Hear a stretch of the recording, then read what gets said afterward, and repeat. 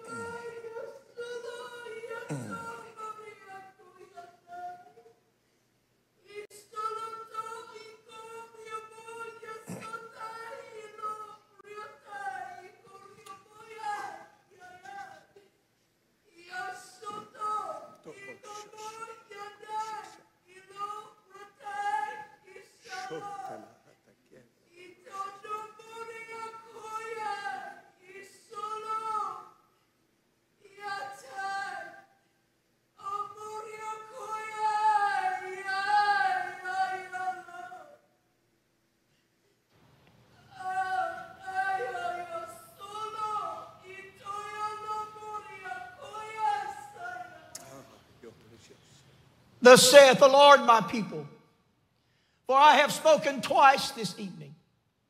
I have spoken twice for the urgency. Be not deceived nor distracted, my people. It would be the enemy's good joy for you to get your eye upon the sword. I control the sword.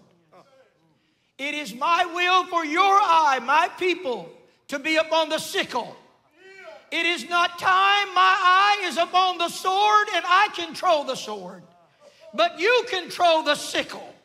Cast in the sickle, for the harvest is ready.